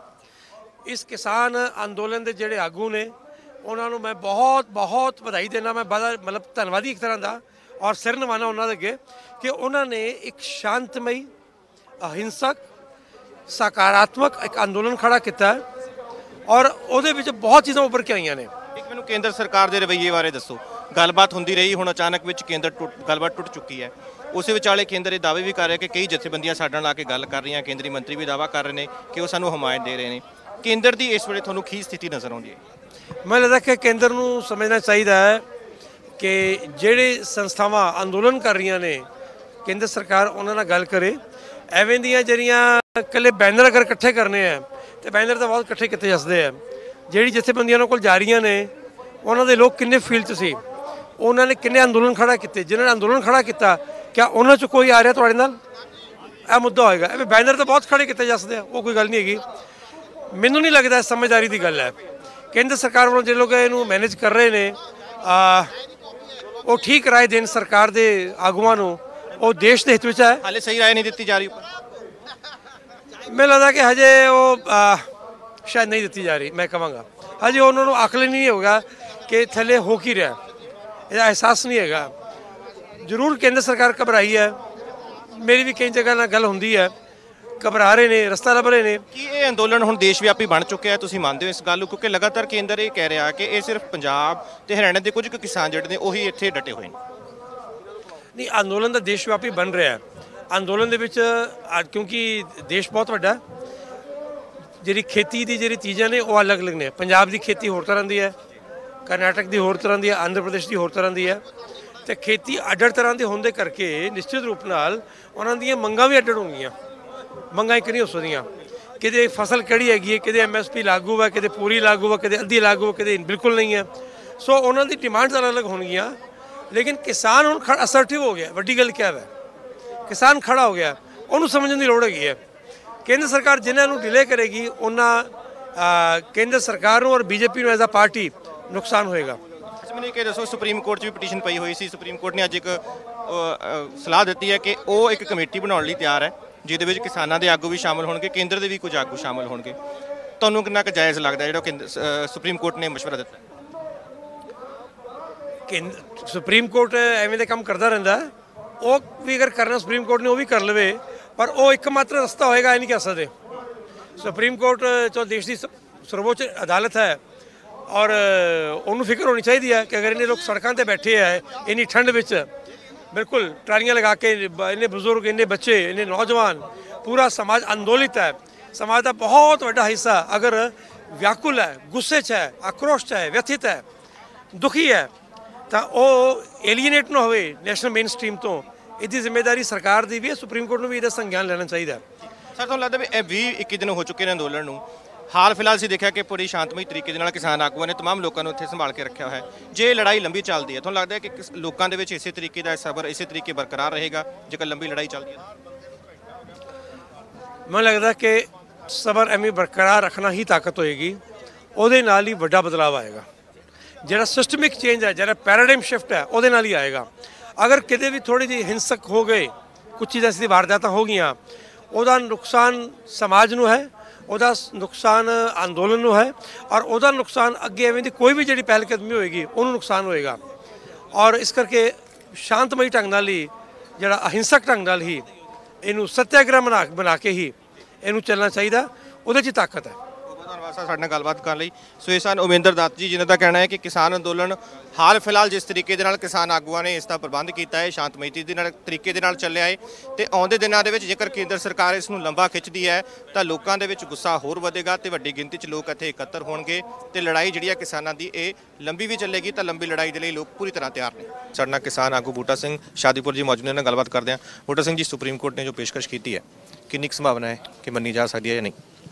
ਦੇਖੋ, ਜੋ ਕੇਂਦਰ ਸਰ ਆਪਣਾ ਸੁਪਰੀਮ ਕੋਰਟ ਨੇ ਕਿਹਾ ਹੈ, ਉਹ ਕੇਂਦਰ ਸਰਕਾਰ ਦੀਆਂ ਭਾਵਨਾਵਾਂ ਦੇ ਉਲਟ ਆਇਆ ਫੈਸਲਾ। ਤੇ ਅਸੀਂ ਸਮਝਦੇ ਹਾਂ ਕਿ ਸਾਡੇ ਹੱਕ 'ਚ ਹੈ, ਉਹ ਸਾਡੀ ਜਿੱਤ ਆ, ਕਿਉਂਕਿ ਕਿ ਇਹ ਕੇਂਦਰ ਸਰਕਾਰ ਜਿਹੜੀ ਏ, ਇਹ ਸੁਪਰੀਮ ਕੋਰਟ 'ਚ ਰਿਟ ਲਵਾ ਕੇ ਸਾਨੂੰ ਜ਼ਬਰਦਸਤੀ ਉਠਾਉਣਾ ਚਾਹੁੰਦੀ ਸੀ। ਪਰ ਸੁਪਰੀਮ ਕੋਰਟ ਨੇ ਆ ਦੁਨੀਆ ਜਿਹੜੀ ਬੈਠੀ, ਲੋਕ ਜਿਹੜੇ ਸੜਕਾਂ ਤੇ ਬੈਠੇ ਨੇ, ਦਿਨ ਰਾਤ ਇੰਨੀ ਠੰਡ 'ਚ, ਉਹਨਾਂ ਦੀਆਂ ਭਾਵਨਾਵਾਂ ਅਨੁਸਾਰ ਫੈਸਲਾ ਕੀਤਾ ਵੀ ਉਹਨਾਂ ਦੀ ਗੱਲ ਸੁਣੋ, ਕਮੇਟੀ ਬਣਾਓ, ਜੋ ਮਰਜ਼ੀ ਕਰੋ, ਤੇ ਇੰਨੇ ਦਿਨ ਹੋ ਗਏ ਨੇ, ਇਹਨਾਂ ਬੈਠਿਆਂ ਨੂੰ ਕਿਉਂ ਨਹੀਂ ਇਹਨਾਂ ਦੀ ਗੱਲ ਸੁਣੀਗੀ? ਇਹਨੂੰ ਫਟਕਾਰ ਲੱਗੀ ਹੈ। ਕੇਂਦਰ ਸਰਕਾਰ ਨੂੰ ਵੈਸੇ ਸਮਝ ਜਾਣਾ ਚਾਹੀਦਾ ਹੈ, ਹੁਣ ਵੀ ਇਹਨਾਂ ਨੂੰ, ਕਿ ਇਹ ਜਿਹੜਾ ਜੋ ਵੀ ਮਤਲਬ ਸਾਡੇ ਹੱਕ ਨੇ ਇਹਨਾਂ ਲੋਕਾਂ ਦੇ ਹੱਕ ਨੇ ਜਿਹੜੇ ਸੜਕਾਂ ਤੇ ਬੈਠੇ ਆ ਇਹਨਾਂ ਦੀ ਗੱਲ ਮੰਨ ਕੇ ਇਹਨਾਂ ਦੀਆਂ ਭਾਵਨਾਵਾਂ ਅਨੁਸਾਰ ਕੇਂਦਰ ਸਰਕਾਰ ਨੂੰ ਫੈਸਲਾ ਕਰ ਦੇਣਾ ਚਾਹੀਦਾ। ਕਮੇਟੀ ਬਾਰੇ ਕੀ ਸੰਭਾਵਨਾ ਹੈ? ਕਮੇਟੀ ਤੁਸੀਂ ਮੰਨਦੇ ਹੋ ਕਿ ਕਮੇਟੀ ਦੇ ਨਾਲ ਮਸਲੇ ਦਾ ਹੱਲ ਨਿਕਲ ਸਕਦਾ ਹੈ? ਉਹ ਸਾਡੀ ਮੀਟਿੰਗ ਹੁਣ ਚੱਲੂਗੀ ਜੀ ਮੀਟਿੰਗ ਸ਼ੁਰੂ ਹੋਣ ਵਾਲੀ ਹੈ। ਮੀਟਿੰਗ 'ਚ ਬੈਠ ਕੇ ਅਸੀਂ ਕਰਦੇ ਹਾਂ ਇਹਦੇ 'ਚ ਇਕੱਲਾ ਕੋਈ ਕਹਿ ਨਹੀਂ ਸਕਦਾ ਕੁਝ ਵੀ। ਮੀਟਿੰਗ ਤੋਂ ਬਾਅਦ ਤੁਹਾਨੂੰ ਸਾਰਾ ਕੁਝ ਦੱਸ ਦਿਆਂਗੇ ਕੀ ਕੁਝ ਆਉਂਦਾ ਹੈ ਨਾ ਜੋ ਬਣੂਗਾ ਉਹ ਦੱਸ ਕਿ ਸੁਪਰੀਮ ਕੋਰਟ ਜਿਹੜੀ ਪਟੀਸ਼ਨ ਪਾਈ ਗਈ ਉਹਦੇ ਵਿੱਚ ਇਹ ਕਿਹਾ ਗਿਆ ਕਿ ਸਿੰਘੂ ਬਾਰਡਰ ਦੀ ਵਜ੍ਹਾ ਕਰਕੇ ਟ੍ਰੈਫਿਕ 'ਚ ਬੜੀ ਦਿੱਕਤ ਪੇਸ਼ ਆ ਰਹੀ ਹੈ ਲੋਕਾਂ ਨੂੰ। ਆਵਾਜਾਈ ਰੁਕੀ ਹੋਈ ਹੈ ਪੂਰੀ ਤਰ੍ਹਾਂ ਦੇ ਨਾਲ। ਜੇ ਕੱਲ੍ਹ ਨੂੰ ਸੁਪਰੀਮ ਕੋਰਟ ਕਮੇਟੀ ਦੇ ਨਾਲ ਨਾਲ ਇਹ ਕਹਿੰਦਾ ਹੈ ਕਿ ਤੁਸੀਂ ਆਪਣਾ ਅੰਦੋਲਨ ਦਿੱਲੀ ਦੇ ਅੰਦਰ ਰਾਵਲੀਲਾ ਮੈਦਾਨ ਦੇ ਵਿੱਚ ਜੇ ਕਿਤੇ ਕਿਸੇ ਹੋਰ ਥਾਂ ਤੇ ਸ਼ਿਫਟ ਕਰਨ ਲਈ ਕਹਿੰਦਾ ਹੈ, ਤਾਂ ਉਹਦੀ ਕਿੰਨੀ ਕੁ ਸੰਭਾਵਨਾ ਹੈ ਕਿ ਤੁਸੀਂ ਉੱਥੇ ਜਾਓਗੇ ਜਾਂ ਤੁਹਾਨੂੰ ਲੱਗਦਾ ਕਿ ਇੱਥੇ ਹੀ ਸਾਡਾ ਅੰਦੋਲਨ ਚੱਲੇਗਾ? ਉਹ ਵੀ ਅਸੀਂ ਵਿਚਾਰਾਂਗੇ, ਵੇਖੋ ਜੋ ਜੇ ਕੋਈ ਸੁਪਰੀਮ ਕੋਰਟ ਦੇ ਇਹੋ ਜਿਹੀ ਕੋਈ ਡਾਇਰੈਕਸ਼ਨ ਆਉਂਦੀ ਹੈ, ਉਹਦੇ ਉੱਤੇ ਅਸੀਂ ਵਿਚਾਰ ਕਰਾਂਗੇ। ਨਹੀਂ ਤਾਂ ਲੇਕਿਨ ਸਾਡਾ ਫੈਸਲਾ ਅੱਜ ਤੱਕ ਦਾ ਜਿਹੜਾ ਉਹ ਦਿੱਲੀ ਇਸੇ ਸਿੰਘੂ ਬਾਰਡਰ ਦੇ ਉੱਤੇ ਹੀ ਹੈ। ਸਿੰਘੂ ਬਾਰਡਰ ਤੇ ਹੀ ਅਸੀਂ ਪਹਿਲਾਂ ਹੀ ਜਾਣਾ ਚਾਹੁੰਦੇ ਅੱਗੇ। ਕੇਂਦਰ ਸਰਕਾਰ ਨੇ ਸਾਨੂੰ ਜਾਣ ਨਹੀਂ ਦਿੱਤਾ। ਉਹਨਾਂ ਸਾਨੂੰ ਰੋਕ ਲਿਆ। ਹੁਣ ਸਾਡਾ ਪੱਕਾ ਮੋਰਚਾ ਇੱਥੇ, ਪੱਕਾ ਇੱਥੇ ਚੱਲੂਗਾ। ਤੁਸੀਂ ਜੇ ਸੁਪਰੀਮ ਕੋਰਟ ਕਿਸੇ ਵੀ ਤਰ੍ਹਾਂ ਦਾ ਕੋਈ ਫੈਸਲਾ ਦਿੰਦੀ ਹੈ, ਜਥੇਬੰਦੀਆਂ ਦੇ ਉੱਤੇ ਫੁੱਲ ਚੜਾਉਣਗੀਆਂ ਜਾਂ ਲੱਗਦਾ ਹੈ ਕਿ ਜੇ ਕਿਸੇ ਵੀ ਇਸ ਤਰੀਕੇ ਦਾ ਫੈਸਲਾ ਜਿਹਦੇ ਨਾਲ ਕੋਈ ਹਿੱਤਾਂ ਦਾ ਟਕਰਾਅ ਹੁੰਦਾ ਹੈ, ਤਾਂ ਉਹਦੇ ਨਾਲ ਜਿਹੜੀ ਅੱਗੇ ਤੁਹਾਡੀ ਇਸੇ ਤਰੀਕੇ ਨਾਲ ਤੁਹਾਡਾ ਅੰਦੋਲਨ ਜਿਹੜਾ ਇੱਥੇ ਜਾਰੀ ਰਹੇਗਾ। ਉਹ ਉਹ ਸਭ ਦਾ ਫੈਸਲਾ, ਉਹ ਕੱਲਾ ਨਹੀਂ, ਕਿਉਂਕਿ ਦੇਸ਼ ਦੀਆਂ 500 ਦੇ ਕਰੀਬ ਜਥੇਬੰਦੀਆਂ ਨੇ, ਉਹ ਸਾਡਾ ਸਾਂਝਾ ਫੈਸਲਾ ਹੁੰਦਾ, ਜਦੋਂ ਕੋਈ ਫੈਸਲਾ ਆਊਗਾ, ਅਸੀਂ ਉਹਦੇ ਉੱਤੇ ਨਾਲ ਦੀ ਨਾਲ ਆਪਣੀ ਐਮਰਜੈਂਸੀ ਮੀਟਿੰਗ ਬੁਲਾਵਾਂਗੇ ਐਮਰਜੈਂਸੀ ਮੀਟਿੰਗ ਬੁਲਾ ਕੇ ਉਹਦੇ ਵਿੱਚ ਹੀ ਫੈਸਲਾ ਕੀਤਾ ਜਾਊਗਾ ਕੱਲਾ ਨਹੀਂ ਉਹਦੇ 'ਚ ਕੁਝ ਵੀ ਕਹਿ ਸਕਦਾ, ਜਾਂ ਮੈਂ ਕਹਾਂ ਜਾਂ ਕੋਈ ਹੋਰ। ਹੁਣ ਤੱਕ ਤੁਸੀਂ ਕੇਂਦਰ ਸਰਕਾਰ ਦੇ ਰਵੱਈਏ ਬਾਰੇ ਕੀ ਸੋਚਦੇ ਹੋ? ਤੁਸੀਂ ਕੱਲ ਲਿਖਤੀ ਵੀ ਤੌਰ ਤੇ ਤੁਸੀਂ ਦੇ ਦਿੱਤਾ ਹੈ, ਜੋ ਜਵਾਬ ਸੀਗਾ ਤੁਹਾਡਾ ਕਿ ਅਸੀਂ ਜਿਹੜੀਆਂ ਤੁਹਾਡੀਆਂ ਪੇਸ਼ਕਸ਼ਾਂ, ਉਹ ਸਾਨੂੰ ਨਾ ਮਨਜ਼ੂਰ ਹੈ। ਹੁਣ ਤੱਕ ਕੇਂਦਰ ਸਰਕਾਰ ਦੇ ਰਵੱਈਏ ਨੂੰ ਲੈ ਕੇ ਜਥੇਬੰਦੀਆਂ ਕੀ ਸੋਚ ਰਹੀਆਂ ਨੇ, ਕਿ ਕੇਂਦਰ ਸਰਕਾਰ ਗੱਲਬਾਤ ਲਈ ਜਾਂ ਕਰਨੀ ਚਾਹੀਦੀ ਹੈ, ਅੱਗੇ ਆਊਗੀ, ਜਾਂ ਤੁਹਾਨੂੰ ਲੱਗਦਾ ਹੈ ਕਿ ਅੜੀਅਲ ਰਵੱਈਆ ਕੇਂਦਰ ਸਰਕਾਰ ਨੇ ਪੂਰੀ ਤਰ੍ਹਾਂ ਅਪਣਾ ਲਿਆ। ਕੇਂਦਰ ਸਰਕਾਰ ਦਾ ਮਾੜਾ ਰਵੱਈਆ, ਮਾੜੀ ਨੀਅਤ, ਮਾੜੀ ਨੀਤੀ, ਉਹਦੇ ਕਾਰਨ ਸੜਕਾਂ ਤੇ ਰੁਲਣਾ ਪੈ ਰਿਹਾ ਨਾ ਲੋਕਾਂ ਨੂੰ। ਆਪਣੇ ਹੱਕ ਮੰਗਣ ਵਾਸਤੇ ਸੜਕਾਂ ਦੇ ਉੱਤੇ ਦੁਨੀਆ ਰੁਲਦੀ ਫਿਰਦੀ ਏ। ਇਹਦੇ ਵਿੱਚ ਬੱਚੇ ਵੀ ਨੇ, ਬਜ਼ੁਰਗ ਵੀ ਨੇ, ਨੌਜਵਾਨ, ਭੈਣਾ, ਮਾਮਾ, ਸਾਰੀ ਦੁਨੀਆ ਸੜਕਾਂ ਲਾ ਕੇ ਬੈਠੀ ਹੈ ਸਾਰਾ ਦੇਸ਼ ਸੜਕਾਂ ਤੇ ਬੈਠਾ ਨਾ ਆ ਕੇ। ਤੇ ਪਰ ਉਹਨਾਂ ਨੂੰ ਦਿਖ ਨਹੀਂ ਰਿਹਾ। ਪਰ ਇਹ ਉਹ ਮਾੜੀਆਂ ਨੀਤੀਆਂ ਦੇ ਕਾਰਨ ਹੀ ਹੋ ਸਕਦਾ। ਜੇ ਸਰਕਾਰ ਦੀ ਮਾੜੀ ਨੀਤੀ ਹੋਊਗੀ ਉਹ ਸਰਕਾਰ ਦੇ ਲੋਕ ਜਿਹੜੇ ਨੇ ਨਾਗਰਿਕ ਜਿਹੜੇ ਨੇ ਸੜਕਾਂ ਤੇ ਰੁਲਦੇ ਨੇ। ਇਹੋ ਜਿਹੀਆਂ ਮਾੜੀਆਂ ਸਰਕਾਰਾਂ ਰੁਲਦੀਆਂ ਨੇ ਪਰ ਆਉਣ ਵਾਲੇ ਸਮੇਂ 'ਚ ਉਹਨਾਂ ਨੂੰ ਖਮਿਆਜਾ ਜ਼ਰੂਰ ਭੁਗਤਣਾ ਪਏਗਾ ਪ੍ਰਧਾਨ ਮੰਤਰੀ ਲਗਾਤਾਰ ਬਿਆਨ ਦਿੰਦੇ ਰਹਿੰਦੇ ਨੇ। ਇੱਕ ਪਾਸੇ ਗੱਲਬਾਤ ਦੀ ਵੀ ਉਹਨਾਂ ਦੇ ਆਗੂ ਜਿਹੜੇ ਨੇ ਹੋਰ ਕੈਬਨਿਟ ਮੰਤਰੀ ਨੇ ਉਹ ਕਹਿੰਦੇ ਅਸੀਂ ਕਿਸਾਨਾਂ ਨੂੰ ਗੱਲਬਾਤ ਦੀ ਪੇਸ਼ਕਸ਼ ਕਰ ਰਹੇ ਹਾਂ। ਦੂਜੇ ਪਾਸੇ ਪ੍ਰਧਾਨ ਮੰਤਰੀ ਫਿਰ ਲਗਾਤਾਰ ਬਿਆਨ ਦੱਸਦੇ ਨੇ ਕਿ ਅਸੀਂ ਕਿਸਾਨਾਂ ਦੇ ਹਿੱਤ 'ਚ ਕਾਨੂੰਨ ਬਣਾਏ ਨੇ ਇਸ ਨਾਲ ਉਹਨਾਂ ਨੂੰ ਫਾਇਦਾ ਹੋਵੇਗਾ। ਤੁਸੀਂ ਦੋਨਾਂ ਚੀਜ਼ਾਂ ਨੂੰ ਕਿਵੇਂ ਵੇਖਦੇ ਹੋ? ਇੱਕ ਪਾਸੇ ਗੱਲਬਾਤ ਦੀ ਹੁੰਦੀ ਹੈ ਪੇਸ਼ਕਸ਼ ਦੂਜੇ ਪਾਸੇ ਪ੍ਰਧਾਨ ਮੰਤਰੀ ਇਹਨਾਂ ਕਾਨੂੰਨਾਂ ਨੂੰ ਸਹੀ ਠਹਿਰਾਉਂਦੇ ਰਹਿੰਦੇ ਨੇ। ਉਹ ਤਾਂ ਆਪਾਂ ਇਹ ਕਹਿ ਸਕਦੇ ਹਾਂ ਮੂੰਹ ਮੇ ਰਾਮ ਬਗਲ ਮੇ ਛੁਰਾ। ਇੱਕ ਤਾਂ ਛੁਰੀ ਹੁੰਦੀ ਹੈ ਨਾ, ਮੂੰਹ ਮੇ ਰਾਮ ਬਗਲ ਮੇ ਛੁਰਾ ਹੈ। ਇਹ ਤਾਂ ਇਹੋ ਜਿਹੀਆਂ ਗੱਲਾਂ ਕਰਦੇ ਨੇ। ਦੇਖੋ, ਇਹ ਗੱਲ ਉਹ ਪ੍ਰਧਾਨ ਮੰਤਰੀ ਦੇ ਮੂੰਹੋਂ ਨਹੀਂ ਫੱਬ ਸਕਦੀ। ਉਹਨਾਂ ਨੂੰ ਤਾਂ ਇਹੀ ਗੱਲ ਕਹਿਣੀ ਚਾਹੀਦੀ ਵੀ ਜੇ ਜੇ ਤੁਸੀਂ ਕਹਿੰਦੇ ਹੋ ਵੀ ਕਾਨੂੰਨ ਗਲਤ ਨੇ, ਆਪਾਂ ਰੱਦ ਕਰ ਦੇਣਾ ਦੇਸ਼ ਦਾ ਪ੍ਰਧਾਨ ਮੰਤਰੀ ਹੈ ਨਾ, ਇਹ ਗੱਲ ਉਹਨਾਂ ਨੂੰ ਕਹਿਣੀ ਚਾਹੀਦੀ ਵੀ ਜੇ ਤੁਸੀਂ ਕਹਿੰਦੇ ਹੋ ਵੀ ਆਪਾਂ ਗਲਤ ਨੇ, ਰੱਦ ਕਰ ਦੇਣਾ ਕਿਉਂਕਿ ਸਾਡੇ ਵਾਸਤੇ ਉਹਨਾਂ ਨੇ ਬਣਾਏ ਨੇ। ਸਾਨੂੰ ਉਹ ਸਹੀ ਨਹੀਂ ਲੱਗ ਰਿਹਾ। ਉਹ ਜ਼ਬਰਦਸਤੀ ਸਾਡੇ ਤੇ ਥੋਪਣਾ ਚਾਹੁੰਦੇ ਨੇ, ਇਹ ਉਹਨਾਂ ਦੀ ਬੜੀ ਵੱਡੀ ਗਲਤੀ ਹੈ, ਮਹਾ ਗਲਤੀ ਹੈ ਜਿਹਨੂੰ ਆਪਾਂ ਕਹਿ ਸਕਦੇ ਹਾਂ। ਇਸ ਕਰਕੇ ਇਹ ਗਲਤ ਗੱਲ ਹੈ ਮੋਦੀ ਸਾਹਿਬ ਦੀ। ਮੋਦੀ ਸਾਹਿਬ ਨੂੰ ਇਹ ਗੱਲ ਕਹਿਣੀ ਚਾਹੀਦੀ ਕਿ ਜੇ ਤੁਹਾਡੇ ਵਾਸਤੇ ਬਣਾਇਆ ਕਾਨੂੰਨ, ਤੁਹਾਨੂੰ ਚੰਗੇ ਨਹੀਂ ਲੱਗਦੇ, ਆਓ ਬੈਠੋ ਭਾਈ। ਬੀਤੇ ਦਿਨ ਜਦੋਂ ਗੁਰਜਾ- ਗੁਜਰਾਤ ਵਿੱਚ ਗਏ ਹੋਏ ਸੀ, ਕੁਝ ਉੱਥੋਂ ਦੇ ਸਿੱਖ ਲੀਡਰ, ਆਗੂ ਜਿਹੜੇ ਸੀ, ਕਿਸਾਨ ਉਹਨਾਂ ਨੇ ਬਿਠਾ ਕੇ ਕਿਹਾ ਸੀ ਕਿ ਅਸੀਂ ਇਹਨਾਂ ਨੂੰ ਸਮਝਾਉਣ ਦੀ ਕੋਸ਼ਿਸ਼ ਕਰ ਰਹੇ ਹਾਂ। ਇੱਕ ਗੱਲ ਉਦਾਹਰਨ ਦੇ ਤੌਰ ਤੇ ਉਹਨਾਂ ਨੇ ਪੇਸ਼ ਕੀਤੀ। ਇਲਜ਼ਾਮ ਵੀ ਲਾਇਆ ਕਿ ਜਿਹੜੀਆਂ ਵਿਰੋਧੀ ਸਾਡੀਆਂ ਧਿਰਾਂ ਨੇ, ਸਿਆਸੀ ਧਿਰਾਂ, ਉਹ ਕਿਸਾਨਾਂ ਨੂੰ ਗੁੰਮਰਾਹ ਕਰ ਰਹੀਆਂ ਨੇ। ਇੱਕ ਉਹਨਾਂ ਨੇ ਉਦਾਹਰਨ ਨਾਲ ਦੀ ਨਾਲ ਪ੍ਰਧਾਨ ਮੰਤਰੀ ਨੂੰ ਉਦਾਹਰਨ ਪੇਸ਼ ਕੀਤੀ। ਕਿ ਜਿਵੇਂ ਡੈਰੀ ਦੇ ਵਿੱਚ ਕਿਸਾਨ ਦੁੱਧ ਪਾਉਂਦਾ ਏ, ਤਾਂ ਕੀ ਜਿਹੜੇ ਲੋਕਾਂ ਨੂੰ ਦੁੱਧ ਵੇਚਦਾ ਹੈ ਉਸ ਦੀ ਮੱਝ ਜਾਂ ਗਾਂ ਖੋਲ ਕੇ ਲੈ ਜਾਂਦੇ ਨੇ? ਇਸੇ ਤਰੀਕੇ ਦੇ ਨਾਲ ਇਹਨਾਂ ਕਾਨੂੰਨਾਂ ਦੇ ਬਾਰੇ ਗੁੰਮਰਾਹ ਕੀਤਾ ਜਾ ਰਿਹਾ ਕਿ ਤੁਹਾਡੀ ਜ਼ਮੀਨ ਖੋਲੀ ਜਾਏਗੀ। ਜੋ ਉਹਦੇ ਤੇ ਕਲੀਅਰ ਹੈ ਗੱਲ, ਬਿਲਕੁਲ ਕੰਟਰੈਕਟ ਵਾਲੇ ਜਿਹੜੇ ਨੇ ਉਹ ਕੰਟਰੈਕਟ ਫਾਰਮਿੰਗ ਵਾਲਾ, ਉਹਦੇ ਵਿੱਚ ਜੇ ਉਹ ਕੰਟਰੈਕਟ ਕਰਦੇ ਨੇ, ਫਰਜ਼ ਕਰ ਲਓ ਮੈਂ ਹੀ ਇਹਨਾਂ ਨਾਲ ਕਰ ਲੈਣਾ ਉਹਦੇ ਵਿੱਚ ਉਹਨਾਂ ਨੂੰ ਇਹਨਾਂ ਨੇ ਫੈਸਿਲਿਟੀਆਂ ਬੜੀਆਂ ਦੇ ਦਿੱਤੀਆਂ ਨੇ, ਉਹ, ਉਹਦੇ ਨਾਲ ਉੱਤੇ ਲੋਨ ਲੈ ਸਕਦੇ ਨੇ ਲੋਨ ਨਹੀਂ ਭਰਨਗੇ, ਉਹ ਮਾਲਕ ਨੂੰ ਪੈ ਜਾਊਗਾ ਹੋਰ ਕਈ ਗੱਲਾਂ ਨੇ ਦੇ ਵਿੱਚ ਇਹੋ ਜੀਆਂ ਜਿਹੜੀਆਂ ਉਹਨਾਂ ਨੇ ਗਲਤ ਪਾਈਆਂ ਹੋਈਆਂ ਨੇ ਜਿਹੜਾ ਕਿ ਕਾਰਪੋਰੇਟ ਘਰਾਣਿਆਂ ਦੇ ਹੱਕ 'ਚ ਨੇ ਤੇ ਮਾਲਕ ਦੇ ਵਿਰੋਧ ਉਹ ਤਾਂ ਕਹਿ ਰਹੇ ਨੇ ਕਿ ਅਸੀਂ ਸੋਧਣ ਲਈ ਵੀ ਤਿਆਰ ਹਾਂ ਪਰ ਕਿਸਾਨ ਜਥੇਬੰਦੀਆਂ ਇਸ ਗੱਲ ਤੇ ਅੜੀਆ ਰਵਈਆ ਅਪਣਾ ਰਹੀਆਂ ਕਿ ਤੁਸੀਂ ਕਾਨੂੰਨ ਰੱਦ ਕਰ ਦਿਓ। ਨਹੀਂ ਕਾਨੂੰਨ ਰੱਦ ਕਰਨ ਯਾਰ ਅਸੀਂ ਕਹਿੰਦੇ ਵੀ ਦੁਬਾਰੇ ਬਣਾ ਲਵਾਂਗੇ। ਹੁਣ ਜਿਹੜੀ ਤੁਸੀਂ ਉੱਥੋਂ ਦੀ ਗੱਲ ਕੀਤੀ ਗੁਜਰਾਤ ਕੱਛ ਦੀ ਗੁਜਰਾਤ ਦੇ ਕਿਸਾਨਾਂ ਨੂੰ ਇਹਨਾਂ ਨੇ ਜਿਹੜੇ 60 60 70 70 ਸਾਲ ਦੇ ਲਾਲ ਬਹਾਦਰ ਸ਼ਾਸਤਰੀ ਜੀ, ਉਹਨਾਂ ਨੇ ਬਿਠਾਏ ਸਨ ਉੱਥੇ ਉੱਥੇ ਜ਼ਮੀਨਾਂ ਅਲਾਟ ਕੀਤੀਆਂ, ਉਹਨਾਂ ਨੇ ਬਰਬਾਦ ਆਬਾਦ ਕੀਤੀਆਂ ਜ਼ਮੀਨਾਂ। ਤੇ ਉਦੋਂ ਦੇ ਜਿਹੜੇ ਬੈਠੇ ਲੋਕ ਨੇ, ਉਹਨਾਂ ਨੂੰ ਉਠਾਉਣ ਲੱਗ ਪਏ ਸੀ। 2014 ਦੀ ਇਲੈਕਸ਼ਨ ਦੇ ਵਿੱਚ ਮੈਂ ਉਦੋਂ ਵੀ ਇਹਨਾਂ ਦੇ ਖਿਲਾਫ ਬਿਆਨ ਲਾਏ ਸਨ ਵੀ ਮੋਦੀ ਸਾਹਿਬ, ਤੁਸੀਂ ਅੱਜ ਦਾ ਜਿਹੜਾ ਸਮਾਂ ਹੈ, ਇਹਦੇ ਮੁਤਾਬਕ ਤੁਸੀਂ ਨੇੜੇ ਬਣਦੇ, ਪਹੁੰਚਦੇ ਜਾਂਦੇ ਹੋ ਕੁਰਸੀ ਦੇ ਪ੍ਰਧਾਨ ਮੰਤਰੀ ਵਾਲੀ ਦੇ। ਪਰ ਜਿਹੜੇ ਗੁਜਰਾਤ 'ਚ ਕਿਸਾਨ ਨੇ, ਤੁਸੀਂ ਉਹਨਾਂ ਨੂੰ ਯਾਰਦੇ ਪਏ ਹੋ। ਉਦੋਂ ਇਹਨਾਂ ਨੇ ਪੰਜਾਬ ਦੌਰਾ ਸੀ ਇਹਨਾਂ ਦਾ। ਮੈਂ ਕਿਹਾ ਪੰਜਾਬ ਆਉਣ ਤੋਂ ਪਹਿਲਾਂ ਉਹਨਾਂ ਕਿਸਾਨਾਂ ਦੇ ਹੱਕ 'ਚ ਕੋਈ ਫੈਸਲਾ ਲੈ ਕੇ ਆਵੋ। ਲੇਕਿਨ ਨਹੀਂ, ਇਹ ਇਹਦੇ ਤੇ ਜੂ ਹੀ ਨਹੀਂ ਸਰਕਦੀ ਕਰਨ ਤੇ, ਤੁਸੀਂ ਜੋ ਮਰਜ਼ੀ ਕਹਿ ਲਵੋ। ਇਸ ਕਰਕੇ ਬਹੁਤ ਮਾੜਾ ਰਵੱਈਆ ਅੱਜ ਉਹਨਾਂ ਕਿਸਾਨਾਂ ਦੇ ਕੋਲ ਜਾ ਕੇ ਹੀ ਆਪਣਾ ਪੱਖ ਰੱਖ ਰਹੇ ਨੇ, ਜਿਨ੍ਹਾਂ ਨੂੰ ਯਾਰਦੇ ਹਨ ਉੱਥੋਂ। ਇੱਕ ਇਹ ਦੱਸੋ ਕਿ ਇੱਕ ਵਾਰ-ਵਾਰ ਇਹ ਗੱਲ ਕਹੀ ਜਾ ਰਹੀ ਹੈ ਕਿ ਵੱਡੀ ਗਿਣਤੀ ਪੰਜਾਬ ਦੇ ਕਿਸਾਨਾਂ ਦੀ ਹੈ। ਇਹਨਾਂ ਅੰਦੋਲਨਾਂ ਦੇ ਵਿੱਚ ਸਿੰਘੂ ਬਾਰਡਰ ਤੇ ਤੁਸੀਂ ਡਟੇ ਹੋਏ ਹੋ, ਟਿਕਰੀ ਬਾਰਡਰ ਦੇ ਉੱਤੇ ਬਹੁਤ ਸਾਰੀ ਵੱਡੀ ਗਿਣਤੀ ਪੰਜਾਬ ਦੇ ਕਿਸਾਨਾਂ ਦੀ ਹੈ, ਪਰ ਬੀਤੇ ਦਿਨੀ ਅਸੀਂ ਰਾਜਸਥਾਨ ਦੀ ਤੁਸੀਂ ਕਾਲ ਦਿੱਤੀ ਸੀ ਕਿ ਉੱਥੇ ਵੀ ਹਾਈਵੇ ਨੂੰ ਜਾਮ ਕਰਾਂਗੇ। ਪਰ ਉੱਥੇ 12 ਤਰੀਕ ਦੀ ਕਾਲ ਸੀ, ਉਸ ਤੋਂ ਬਾਅਦ ਵੀ ਹਾਲੇ-ਹਾਲੇ ਵੀ ਜਿਹੜਾ ਜਿਸ ਤਰੀਕੇ ਦਾ ਜੋਸ਼ ਇੱਥੇ ਸੀ ਜਾਂ ਗਿਣਤੀ ਇੱਥੇ ਸੀ, ਉੱਥੇ ਨਜ਼ਰ ਨਹੀਂ ਆਈ। ਉਹਦੀ ਕੀ ਵਜ੍ਹਾ ਹੈ? ਉਹ ਚਲੋ, ਉਹਦੇ ਚ ਐ ਹੋ ਸਕਦਾ ਜੀ, ਅਸਲ ਚ ਜਿਹੜਾ ਇਹ ਹੈ ਨਾ ਕਿ ਮੇਨ ਕੇਂਦਰ ਬਣ ਗਿਆ। ਹਰ ਇੱਕ ਬੰਦਾ ਮਤਲਬ ਹੀ ਆ ਰਿਹਾ, ਹਰ ਇੱਕ ਬੰਦਾ ਇੱਧਰ ਨੂੰ ਆ ਰਿਹਾ। ਨਹੀਂ ਤੇ ਇੱਥੋਂ ਵਾਲੀ ਉਹ ਗਿਣਤੀ ਜਿਹੜੀ ਤੁਸੀਂ ਚਾਰ ਸਵੇਰੇ ਦਿੱਲੀ ਦੇ ਲਾ ਲਓ, ਦਿੱਲੀ ਦੀਆਂ ਨਾਸਾਂ ਬੰਦ ਹੋ ਜਾਂਦੀਆਂ ਨੇ। ਜਿੰਨੀ ਕੁ ਨਫਰੀ ਇੱਥੇ ਬੈਠੀ ਏ, ਇਹਨੂੰ ਹੀ ਅਸੀਂ ਉਧਰ ਨੂੰ ਕਰ ਦਈਏ ਦਿੱਲੀ ਦੀਆਂ ਨਾਸਾਂ ਬੰਦ ਹੋ ਜਾਂਦੀਆਂ ਅਸੀਂ ਆਪਣਾ ਰੋਸ ਕਰ ਰਿਹਾ ਵੇਖੋ ਜਿਵੇਂ ਅਸੀਂ ਭੁੱਖ ਹੜਤਾਲ ਕਰਕੇ ਵੀ ਕੀਤੀ ਉਹਦੇ ਨਾਲ ਸਾਡਾ ਰੋਸ ਹੈ, ਪਰ ਕੇਂਦਰ ਸਰਕਾਰ ਅੱਖਾਂ ਮਿੱਟੀ ਬੈਠੀ ਹੈ ਕਬੂਤਰ ਵਾਂਗੂ ਕਬੂਤਰ ਵਾਂਗੂ ਅੱਖਾਂ ਮੀਟ ਕੇ ਬੈਠੇ ਨੇ ਉਹ। ਤੇ ਜਦੋਂ ਉਹ ਬਿੱਲੀ ਜਦੋਂ ਪੈਂਦੀ, ਉਹ ਮੀਟ ਲੈਂਦਾ ਅੱਖਾਂ ਹੀ ਆ ਤੇ ਉਦੋਂ ਹੀ ਪਤਾ ਲੱਗਦਾ ਤੁਹਾਡਾ ਪਲੇ ਦੀ ਇਹਦੀ ਧੌਣ ਨੱਪੀ ਵੀ ਹੁਣ ਹੁਣ ਅੱਖਾਂ ਖੋਲਣਗੇ, ਸੁਪਰੀਮ ਕੋਰਟ ਨੇ ਵੀ ਕਹਿਤਾ ਹੁਣ ਇਹਨਾਂ ਨੂੰ ਇਹ ਕੁਛ ਨਾ ਕੁਛ ਇਹਦਾ ਹੱਲ ਜਿਹੜਾ ਉਹ ਕਰਨਾ ਪਊਗਾ। ਬਹੁਤ ਬਹੁਤ ਧੰਨਵਾਦ। ਸੋ ਇਹ ਸਨ ਬੂਟਾ ਸਿੰਘ ਸ਼ਾਦੂਪੁਰ ਜੀ, ਜਿਨ੍ਹਾਂ ਦਾ ਕਹਿਣਾ ਹੈ ਕਿ ਦਬਾਅ ਜ਼ਰੂਰ ਹੈ ਕੇਂਦਰ ਸਰਕਾਰ ਦੇ ਉੱਤੇ ਤੇ ਇਸੇ ਤਰੀਕੇ ਉਹ ਦਬਾਅ ਜਿਹੜਾ ਹੈ ਕੇਂਦਰ ਸਰਕਾਰ ਤੇ ਬਰਕਰਾਰ ਰੱਖਣਗੇ ਤੇ ਇਸ ਦੇ ਨਤੀਜੇ ਵੀ ਭਵਿੱਖ ਦੇ ਵਿੱਚ ਨਿਕਲਣਗੇ। ਫਿਲਹਾਲ ਜਿਹੜਾ ਹੈ ਉਹਨਾਂ ਦਾ ਮੀਟਿੰਗ ਜਿਹੜੀ ਹੈ ਜਾਰੀ ਹੈ ਤੇ ਉਸ ਮੀਟਿੰਗ ਤੋਂ ਬਾਅਦ ਕੀ ਕੁਝ ਨਿਕਲ ਕੇ ਸਾਹਮਣੇ ਆਉਂਦਾ ਉਸ ਬਾਰੇ ਵੀ ਲਗਾਤਾਰ ਅਪਡੇਟ ਤੁਹਾਨੂੰ ਦਿੰਦੇ ਰਹਾਂਗੇ। ਸਾਡੇ ਨਾਲ ਡਾਕਟਰ ਸਤਨਾਮ ਸਿੰਘ ਜੀ ਮੌਜੂਦ ਨੇ ਉਹਨਾਂ ਨਾਲ ਗੱਲਬਾਤ ਕਰਦੇ ਹਾਂ। ਸਰ ਜਿਹੜਾ ਡਿਜੀਟਲ ਹੋਣ ਦਾ ਕਿਸਾਨਾਂ ਨੇ ਫੈਸਲਾ ਲਿਆ ਕੀ ਜ਼ਰੂਰਤ ਪੈ ਗਈ ਇਹਦੀ? ਕੀ ਕੁਝ ਲੱਗ ਰਿਹਾ ਕਿ ਇਹਦੇ ਨਾਲ ਕੀ ਕੁਝ ਕਿਸ- ਅ, ਕਿਸਾਨ ਅੰਦੋਲਨ ਨੂੰ ਕਿਵੇਂ ਤਾਕਤ ਮਿਲੇਗੀ? ਹਾਂ ਵੇਖੋ ਇਹ ਅਸੀਂ ਇਹਦੀ ਜ਼ਰੂਰਤ ਇਸ ਕਰਕੇ ਬਣ ਗਈ ਸੀ ਕਿ ਬਹੁਤ ਸਾਰਾ ਕੋਈ ਗੋਦੀ ਮੀਡੀਆ ਜਿਹੜਾ ਕੁਝ ਹੋਰ ਵੀ ਲੋਕ ਸੋਸ਼ਲ ਮੀਡੀਆ ਦੇ ਉੱਤੇ ਵੀ ਖਾਸ ਕਰਕੇ ਜਿਹੜੀ ਇੰਡੀਅਨ ਗਵਰਨਮੈਂਟ ਆ ਉਹਦੇ ਵੱਲੋਂ ਕਿਸਾਨਾਂ ਦੇ ਵਿਰੁੱਧ ਬੜਾ ਕੂੜ ਪ੍ਰਚਾਰ ਕੀਤਾ ਜਾਂਦਾ ਸੀ। ਗਲਤ ਇਨਫੋਰਮੇਸ਼ਨ ਦਿੱਤੀ ਜਾ ਰਹੀ ਸੀ ਕਿ ਇਹਨਾਂ ਦੀ ਸਟੇਜ ਤੇ ਆ ਹੋ ਰਿਹਾ, ਇਹਨਾਂ ਦੀ ਸਟੇਜ ਤੇ ਵੇ ਹੋ ਰਿਹਾ, ਇਹਦੇ ਤੇ ਫਲਾਣਾ ਵਾ, ਇਹਦੇ ਤੇ ਅੱਤਵਾਦੀ ਹੈ ਇਹਦੇ ਤੇ ਕੋਈ ਫਲਾਣੇ ਲੋਕ ਆ ਗਏ, ਫਲਾਣਿਆਂ ਲੋਕਾਂ ਕਬਜ਼ਾ ਕਰ ਲਿਆ। ਅਸੀਂ ਇਹਦਾ ਟਾਈਮ ਟੂ ਟਾਈਮ ਵਿਦਨ 1 ਔਰ 2 ਮਿੰਟਸ ਅਸੀਂ ਉਹਦਾ ਜਵਾਬ ਨਾਲ ਦੀ ਨਾਲ ਦੇਈ ਜਾਵਾਂਗੇ। ਇਹਦਾ ਮੇਨ ਮੰਤਵ ਇਹੋ ਹੀ ਆ। ਤੁਹਾਡੇ ਮੀਡੀਆ ਨਾਲ ਸਾਡੀ ਗੱਲਬਾਤ ਉਤਨੇ ਰਹਿਣੀ ਜਿਸ ਤਰ੍ਹਾਂ ਅੱਜ ਕਰ ਰਹੇ ਹਾਂ ਕੱਲ ਕਰਾਂਗੇ, ਇਹ ਹੁੰਦੀ ਰਹੇਗੀ। ਇਹ ਅਸੀਂ ਸਿਰਫ ਕੂੜ ਪ੍ਰਚਾਰ ਨੂੰ ਜਾਂ ਆਪਣੇ ਵੱਲੋਂ ਕੋਈ ਅਸੀਂ ਗੱਲ ਕਹਿਣੀ ਚਾਹੁੰਦੇ ਲੋਕਾਂ ਦੇ ਵਿੱਚ ਇਹ ਹੌਲੀ ਹੌਲੀ ਅਸੀਂ 1 ਕਰੋੜ ਲੋਕਾਂ ਤੱਕ ਲੈ ਜਾਣਾ। ਡਰ ਸੀ ਕਿ ਕਿਸਾਨ ਜਥੇਬੰਦੀਆਂ ਨੂੰ ਡਰ ਸੀ ਕਿ ਇਸ ਤਰੀਕੇ ਸੋਸ਼ਲ ਮੀਡੀਆ ਦੇ ਜ਼ਰੀਏ ਜੋ ਅਫਵਾਹਾਂ ਫੈਲਾਈਆਂ ਜਾ ਰਹੀਆਂ ਨੇ ਉਹਦੇ ਨਾਲ ਅੰਦੋਲਨ ਜਿਹੜਾ ਹੈ ਉਹ ਖਰਾਬ ਹੋ ਸਕਦਾ ਨਹੀਂ ਇਹਦਾ ਇਹ ਤੇ ਅਸੀਂ ਜਿਹੜਾ ਲਾ ਰਿਹਾ ਸੋ ਇਹਦੇ ਨਾਲ ਤੇ ਅੰਦੋਲਨ ਜਿਹੜਾ ਹੋਰ ਅੱਛਾ ਹੋਊਗਾ। ਕਿ ਇਹ ਅੰਦੋਲਨ ਨੂੰ ਚੰਗਾ ਕਰਨ ਵਾਸਤੇ ਬਣਾਇਆ ਸੀ। ਇਹਦਾ ਤੇ ਡਰ ਸੀਗਾ ਕਿ ਸੋਸ਼ਲ ਮੀਡੀਆ ਤੇ ਬਹੁਤ ਸਾਰੇ ਨੌਜਵਾਨ ਸੋਸ਼ਲ ਮੀਡੀਆ ਹੀ ਦੇਖਦੇ ਆ। ਉਸ ਤੇ ਜਿਸ ਤਰੀਕੇ ਦਾ ਪ੍ਰਚਾਰ ਹੋ ਰਿਹਾ ਸੀ ਉਹਦੇ ਨਾਲ ਤੁਹਾਡਾ ਅੰਦੋਲਨ ਖਰਾਬ ਹੋ ਜਾਣਾ ਸੀ ਇਸੇ ਕਰਕੇ ਜਥੇਬੰਦੀਆਂ ਨੂੰ ਮਜਬੂਰੀ ਨਹੀਂ ਉਹ ਉਸ ਤਰ੍ਹਾਂ ਸਾਡੇ ਅੰਦੋਲਨ ਦਾ ਪ੍ਰੈਸ਼ਰ ਏਡਾ ਵੱਡਾ ਵਾ ਵੀ ਮਾੜੀ ਮੋਟੀ ਗੱਲ ਦਾ ਜਿਸ ਤਰ੍ਹਾਂ ਬਹੁਤ ਵੱਡਾ ਪੱਥਰ ਬਣ ਗਿਆ ਪਰ ਸਾਨੂੰ ਇਹਦਾ ਖਤਰਾ ਹੈਗਾ। ਇਸ ਖਤਰੇ ਨੂੰ ਭਾਫਦੇ ਹਾਂ ਅਸੀਂ ਕਿਉਂਕਿ ਜਿਸ ਤਰ੍ਹਾਂ ਕੱਲ ਉਹ ਰਾਜੇਵਾਲ ਜੀ ਬੋਲੇ ਸੀਗੇ ਹਾਂਜੀ ਪਰਸੋਂ ਉਹ ਕਈਆਂ ਨੇ ਪਰ ਅੱਜ ਸਾਨੂੰ ਕੈਨੇਡਾ ਚੋਂ ਆ ਗਿਆ ਜਦੋਂ ਅਸੀਂ ਗੱਲਬਾਤ ਕੀਤੀ ਉਹ ਕਹਿੰਦੇ ਵੀ ਅਸੀਂ ਗਲਤ ਕੰਮ ਕੀਤਾ ਅਸੀਂ ਸੋਸ਼ਲ ਮੀਡੀਆ ਕੋਲ ਗਲਤੀ ਹੋ ਗਈ ਹੈ ਅਸੀਂ ਸਾਰੀ ਫੋਰਮ ਕਰਾਂਗੇ। ਇਸ ਤਰ੍ਹਾਂ ਅਸੀਂ ਟਾਈਮ ਟੂ ਟਾਈਮ ਜਿਹੜਾ ਫੋਨਾਂ ਤੇ ਗੱਲ ਕਰਦੇ ਉਹ ਸਾਡਾ ਡਿਜੀਟਲ ਮੀਡੀਆ ਇਹਦਾ ਸਾਰਾ ਕੰਮ ਕਰੇਗਾ ਇਹ ਸੁਪਰੀਮ ਕੋਰਟ ਦਾ ਜ਼ਿਕਰ ਆ ਰਿਹਾ ਹਾਲਾਂਕਿ ਇੱਕ ਪ੍ਰੈਸ ਕਾਨਫਰੰਸ ਦੇ ਵਿੱਚ ਕਿਹਾ ਗਿਆ ਕਿ ਅਸੀਂ ਅੱਗੇ ਪਰ ਕਿੰਨੀ ਕੁ ਸੰਭਾਵਨਾ ਹੈ ਕਿ ਜੇ ਸੁਪਰੀਮ ਕੋਰਟ ਕਹਿੰਦਾ ਹੈ ਜਥੇਬੰਦੀਆਂ ਨੂੰ ਕਿ ਤੁਸੀਂ ਗੱਲਬਾਤ ਲਈ ਅੱਗੇ ਆਓ ਇੱਕ ਕਮੇਟੀ ਬਣਾ ਦਿੰਦੇ ਆ ਜਿਹਦੇ ਵਿੱਚ ਤੁਹਾਡੇ ਵੀ ਬੰਦੇ ਹੋਣਗੇ ਤੇ ਸਰਕਾਰ ਦੇ ਵੀ ਕੁਝ ਨਹੀਂ ਉਹ ਅਸੀਂ ਨਾ ਅੰਦਰ ਮੀਟਿੰਗ ਕੀਤੀ ਆ ਮੀਟਿੰਗ ਦੇ ਵਿੱਚ ਇਹੋ ਹੀ ਅਸੀਂ ਲਿਆ ਵੀ ਸਾਡੇ ਕੋਲ ਅਜੇ ਪੂਰੀ ਉਹਦੀ ਡਿਟੇਲ ਨਹੀਂ ਆਈ। ਡਿਟੇਲ ਆਣ ਕੇ ਡਿਟੇਲ ਤੋਂ ਪਹਿਲਾਂ ਅਸੀਂ ਗੱਲ ਪਰ ਕਰਾਂਗੇ ਤਾਂ ਠੀਕ ਨਹੀਂ ਹੋਏਗੀ। ਇਸ ਕਰਕੇ ਅਸੀਂ ਇਹਦੇ ਉੱਤੇ ਕਿੰਨੀ ਕੁ ਸੰਭਾਵਨਾ ਹੈ ਕਿ ਤੁਸੀਂ ਜੇ ਕੋਰਟ ਤੁਹਾਨੂੰ ਕਹਿੰਦਾ ਹੈ ਤਾਂ ਕੋਰਟ ਦੀ ਤੁਸੀਂ ਮੰਨੋਗੇ ਗੱਲ?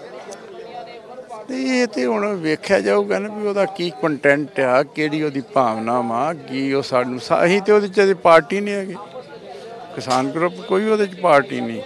ਉਹ ਤੇ ਆਪਣੇ ਆਪ ਜਿਹੜੀ ਪਟੀਸ਼ਨ ਪਈ ਹੈ ਪਟੀਸ਼ਨਰ ਨੇ ਕਿਹਾ ਕਿ ਬਹੁਤ ਸਾਰੇ ਲੋਕਾਂ ਨੂੰ ਦਿੱਕਤ ਆ ਰਹੀ ਹੈ ਜਿਹੜੇ ਲੋਕ ਇੱਥੋਂ ਆਵਾਜਾਈ ਦੇ ਵਿੱਚ। ਇਸ ਲਈ ਜੇ ਅੰਦੋਲਨ ਸ਼ਿਫਟ ਕਰਨ ਨੂੰ ਵੀ ਕੋਰਟ ਕਹਿੰਦਾ ਹੈ ਤਾਂ ਤੁਸੀਂ ਮੰਨੋਗੇ ਉਹ ਚੀਜ਼? ਨਹੀਂ ਉਹਦੇ ਵਿੱਚ ਉਹਨਾਂ ਨੇ ਕਿਸਾਨਾਂ ਨੂੰ ਨਹੀਂ ਉਹਦੇ ਤੇ ਕਿਹਾ। ਕਿਸਾਨ ਕੋਈ ਪਾਰਟੀ ਨਹੀਂ ਬਣਾਇਆ। ਉਹ ਤੇ ਕੋਰਟ ਨੇ ਸਿਰਫ ਕੇਂਦਰ ਸਰਕਾਰ ਨੂੰ ਕਿਹਾ ਵਾ ਜੋ ਕੁਛ ਹੈਗਾ। ਸਾਡੇ ਕਿਸਾਨਾਂ ਨਾਲ ਕੋਈ ਇਹਦਾ ਅਨਕਨਸਰਨ ਲਿਆ ਜੇ। ਜਦੋਂ ਕੋਈ ਸਾਡਾ ਮੁੱਦਾ ਉਹ ਤਾਂ ਫਿਰ ਵੇਖ ਲਾਂਗੇ ਅਸੀਂ। ਹਾਂ ਅਜੇ ਅਸੀਂ ਕਮੈਂਟ ਨਹੀਂ ਇੱਥੇ ਕਰਨਾ ਚਾਹੁੰਦੇ। ਜੋ ਅੱਜ ਡਿਜੀਟਲ ਹੋਣ ਦਾ ਫੈਸਲਾ ਹੋਇਆ ਕੀ ਮਜਬੂਰੀ ਬਣੀ ਕਿ ਡਿਜੀਟਲ ਹੋਣਾ ਪੈ ਰਿਹਾ? ਨਹੀਂ ਉਹ ਡਿਜੀਟਲ ਮਜਬੂਰੀ ਕੋਈ ਨਹੀਂ ਜੀ। ਦੇਖੋ ਡਿਜੀਟਲ ਦਾ ਦੌਰ ਆ ਸਾਰੇ ਡਿਜੀਟਲ ਬਣ ਰਹੇ ਆ। ਭਾਰਤ ਡਿਜੀਟਲ ਬਣ ਰਿਹਾ ਵਾ। ਮੰਨ ਲਓ ਭਾਰਤ ਕੇਂਦਰ ਸਰਕਾਰ ਬਣ ਰਹੀ ਹੈ ਮੋਦੀ ਬਣ ਰਿਹਾ। ਕਿਸਾਨ ਵੀ ਡਿਜੀਟਲ ਬਣਨਗੇ ਜੀ। ਮੰਨ ਲਓ ਮੰਨ ਲਓ ਕਿਸਾਨ ਕਦੋਂ ਚਾਹੁੰਦਾ ਕਿ ਮੇਰੀ ਪਾਰਟੀ ਪੱਗ ਹੋਵੇ ਖਿਲਰੀ ਦਾੜੀ ਹੋਵੇ ਕਿ ਪ੍ਰੋਪੇਗੰਡੇ ਨੇ ਤੁਹਾਨੂੰ ਮਜਬੂਰ ਕਰਤਾ ਜੋ ਪ੍ਰੋਪੇਗੰਡਾ ਚੱਲ ਰਿਹਾ ਸੀ। ਨੋ ਨੋ ਸਰ ਦੇਖੋ ਮਜਬੂਰੀਆਂ ਤਾਂ ਕਿਸਾਨ ਦੇ ਨਾਲ ਜੰਮੀਆਂ ਤੇ ਕਿਸਾਨ ਦੇ ਨਾਲ ਇਸ ਟਾਈਮ ਤੇ ਮਰ ਰਹੀਆਂ ਵਾ। ਕਿਉਂਕਿ ਕਿਸਾਨ ਜੰਮਦਾ ਮਜਬੂਰੀਆਂ ਚ ਜਿਸ ਤਰ੍ਹਾਂ ਦੀ ਹਾਲਤ ਬਣਾ ਦਿੱਤੀ ਗਈ ਕਿਉਂਕਿ ਸਾਨੂੰ ਜਦੋਂ ਭਾਅ ਹੀ ਸਾਡੀ ਮਤਲਬ ਫਸਲ ਦੇ ਉਸ ਹਿੱਸੇ ਚੋਂ ਘੱਟ ਦਿੱਤਾ ਜਾਂਦਾ, ਅਸੀਂ ਮਜਬੂਰੀਆਂ ਦੇ ਵਿੱਚ ਲਗਾਤਾਰ ਹੀ ਰਹਿੰਦੇ ਆ ਉਹ ਉਹ ਇੱਕ ਅਨਸਰ ਦੀ ਲੋੜ ਆ।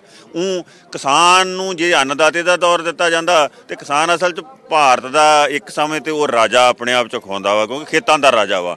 ਪਰ ਉਹ ਉਹਦੇ ਜਿਹੜੇ ਪੱਧਰ ਆ ਉਹ ਨੀਚੇ ਆ। ਅੱਜ ਦਾ ਜਿਹੜਾ ਪੜ੍ਹਿਆ ਲਿਖਿਆ ਹਿੱਸਾ ਵਾ ਸਾਡਾ ਉਹ ਇਹ ਚਾਹੁੰਦਾ ਕਿ ਅਸੀਂ ਵੀ ਪੈਰਲਲ ਮੰਨ ਲਓ ਜੋ ਸਿਸਟਮ ਚੱਲਦਾ ਉਹਦੇ ਪੈਰਲਲ ਅਸੀਂ ਆਈਏ ਸਾਡਾ ਵੀ ਉਹਦੇ ਮੁਤਾਬਕ ਹੋਵੇ। ਜੇ ਗੱਲ ਬਾਹਰ ਕਰਨੀ ਆ ਗੱਲ ਤੁਰੰਤ ਸਾਡੇ ਕੋਲ ਪਹੁੰਚਦੀ ਆ ਤੇ ਸਾਨੂੰ ਵੀ ਗੱਲ ਤੁਰੰਤ ਵਾਪਸੀ ਪਹੁੰਚਾਉਣ ਲਈ ਸਾਡੇ ਜਥੇਬੰਦੀ। ਜਥੇਬੰਦੀਆਂ 'ਚ ਪਹਿਲਾਂ ਤੋਂ ਚੱਲ ਰਹੀ ਸੀ ਕਿ ਡਿਜੀਟਲ ਹੋਣਾ ਹੈ ਜਾਂ ਹੁਣ ਜਿਹੜੀ ਮੀਟਿੰਗ ਹੋਈ ਅੱਜ ਉਹਦੇ ਵਿੱਚ ਕੁਝ ਨੌਜਵਾਨਾਂ ਨੇ ਪ੍ਰਸਤਾਵ ਰੱਖਿਆ ਜਾਂ ਪਹਿਲਾਂ ਤੋਂ ਇਹ ਪ੍ਰਸਤਾਵ ਚੱਲ ਰਿਹਾ ਸੀ ਕਿ ਡਿਜੀਟਲ ਹੋਣਾ ਚਾਹੀਦਾ ਨਹੀਂ ਉਹਦੇ ਚ ਪਹਿਲਾਂ ਵੀ ਚੱਲਦੀ ਸੀ ਗੱਲ। ਪਰ ਜਿੱਡਾ ਵੱਡਾ ਮੰਨ ਲਓ ਸੰਚਾਲਨ ਪੱਧਰ ਜਾਂ ਜਿਹੜੀ ਵੱਡੀ ਸਟੇਜ ਆ, ਉਹ ਪਹਿਲਾਂ ਅਜੇ ਇਸ ਤਰ੍ਹਾਂ ਦੀ ਕੋਈ ਬਣੀ ਨਹੀਂ ਸੀ, ਜਿਹਦੇ ਤੇ ਅਸੀਂ ਤੁਰੰਤ ਕੋਈ ਉਹਦਾ ਜਵਾਬ ਦੇ ਸਕੀਏ। ਕਿਉਂਕਿ ਗੱਲਾਂ ਇਸ ਤਰ੍ਹਾਂ ਦੀਆਂ ਚੱਲਦੀਆਂ ਸੀ, ਪਰ ਹੁਣ ਇੱਕ ਸਟੇਜ ਤੇ ਇੱਕ ਮੋਰਚਾ ਲੱਗ ਗਿਆ। ਤੇ ਕਰੰਟ ਟੌਪਿਕ ਦੇ ਉੱਤੇ ਜਦੋਂ ਅਸੀਂ ਖੜਦੇ ਹਾਂ, ਸਾਨੂੰ ਕੋਈ ਮੈਸੇਜ ਤੁਰੰਤ ਆਉਂਦਾ, ਤੇ ਉਹਦੇ ਜਵਾਬ ਵਾਸਤੇ ਫਿਰ ਸਾਨੂੰ ਵੀ ਉਹਦੇ ਪੈਰਲਲ ਉਹ ਇੱਕ ਮਾਧਿਅਮ ਜਿਹੜਾ ਸੀਗਾ ਉਹ ਬਣਾਉਣਾ ਪਿਆ ਕਿ ਅਸੀਂ ਉਹਦੇ ਪੈਰਲਲ ਆਈਏ ਡਿਜੀਟਲ ਦੇ ਸਿਸਟਮ ਨੂੰ ਅਸੀਂ ਵੀ ਅਡਾਪਟ ਕਰੀਏ। ਅੱਛਾ ਬਲਜੀਤ ਸਿੰਘ ਨੇ ਇੱਕ ਗੱਲ ਕਹੀ ਹੈ ਕਿ ਬਹੁਤ ਸਾਰੀਆਂ ਫੇਕ ਖਬਰਾਂ ਚੱਲਦੀਆਂ ਨੇ ਅਸੀਂ ਉਹਨਾਂ ਦਾ ਜਵਾਬ ਦਵਾਂਗੇ। ਤਾਂ ਕੀ ਜਿਹੜੀ ਹੈ ਸੋਸ਼ਲ ਮੀਡੀਆ ਹੈ ਸਿਰਫ ਜੋ ਫੇਕ ਚੀਜ਼ਾਂ ਨੇ ਉਹਨਾਂ ਦਾ ਜਵਾਬ ਦੇਣ ਤੱਕ ਕੇਂਦਰਿਤ ਰਹੇਗੀ? ਜਾਂ ਤੁਸੀਂ ਜੋ ਅ, ਕਿਨਾ ਕਿਸਾਨ ਅੰਦੋਲਨ ਜੋ ਤੁਸੀਂ ਲੜ ਰਹੇ ਹੋ ਕਾਨੂੰਨਾਂ ਦੇ ਖਿਲਾਫ ਉਹਨਾਂ ਕਾਨੂੰਨਾਂ ਦੇ ਖਿਲਾਫ ਵੀ ਤੁਸੀਂ ਸੋਸ਼ਲ ਮੀਡੀਆ ਤੇ ਪੋਸਟ ਕਰਿਆ ਕਰੋਗੇ ਕਿ ਇਹਨਾਂ ਦੇ ਵਿੱਚ ਇਹ ਕਮੀਆਂ ਨੇ ਇਹਨਾਂ ਚੀਜ਼ਾਂ ਕਰਕੇ ਅਸੀਂ ਲੜ ਰਹੇ ਹਾਂ? ਦੇਖੋ ਜਿਹੜਾ ਜਿਹੜਾ ਐਡ ਸੈਲ ਬਣਿਆ ਹੀ ਇਸੇ ਵਾਸਤੇ ਹੁੰਦਾ ਕਿ ਹਰ ਕਰੰਟ ਟੌਪਿਕ ਤੇ ਅਸੀਂ ਆਪਣੇ, ਮੰਨ ਲਓ ਆਪਣਾ ਜਿਹੜਾ ਕਿਸਾਨ ਹਿੱਸਾ ਵਾ, ਸਾਡਾ ਕਿਸਾਨ ਮੋਰਚਾ ਵਾ, ਉਹ ਆਪਣੀ ਗੱਲ ਲੈ ਕੇ ਜਾਵੇ ਜੀ।